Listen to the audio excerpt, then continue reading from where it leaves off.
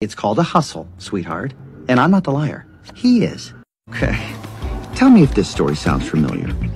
Naive little hick with good grades and big ideas decides, hey, look at me, I'm gonna move to Zootopia, where predators and prey live in harmony and sing kumbaya. Only to find, whoopsie, we don't all get along. And that dream of becoming a big city cop? Double whoopsie. She's a meter maid. And whoopsie number three, Z.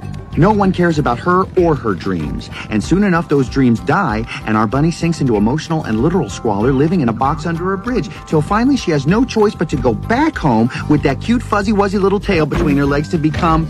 You're from Bunnyburrow, is that what you said? So how about a carrot farmer? Does That sound about right? All right, look. Everyone comes to Zootopia thinking they can be anything they want. Well, you can't. You can only be what you are. Sly Fox, Dumb Bunny.